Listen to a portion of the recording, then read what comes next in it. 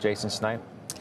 I like Intuit here. Um, that is a, a stock that's really done well. I think that they, they beat on the top and the bottom line, but there was a there was a miss on the guidance, and I think that's why the stock is failing a little. Okay, I guess we're doing finals. Oh, sorry. Weiss, what's your final? Yeah, is that okay? Is that I mean, okay with you, obviously Jason? if I now. go? Uh, can I do the final?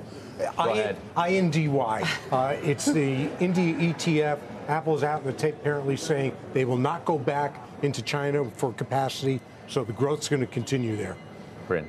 Back to NVIDIA. My final trade is uranium. It's the cleanest source. We are not going to power all these data centers with wind and solar. Okay. Amgen, stock which is higher today. Healthcare, give consideration to the sector. All right.